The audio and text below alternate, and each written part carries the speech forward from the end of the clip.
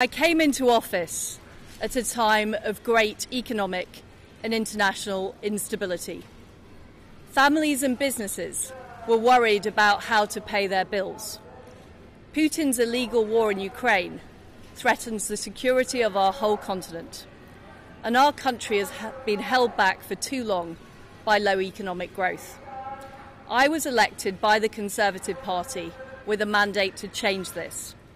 We delivered on energy bills and on cutting national insurance.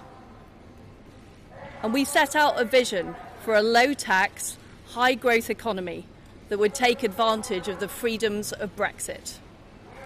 I recognise, though, given the situation, I cannot deliver the mandate on which I was elected by the Conservative Party.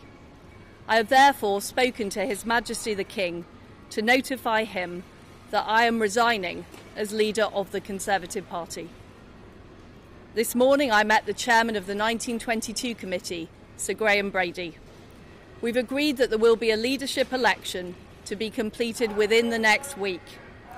This will ensure that we remain on a path to deliver our fiscal plans and maintain our country's economic stability and national security. I will remain as Prime Minister until a successor has been chosen. Thank you.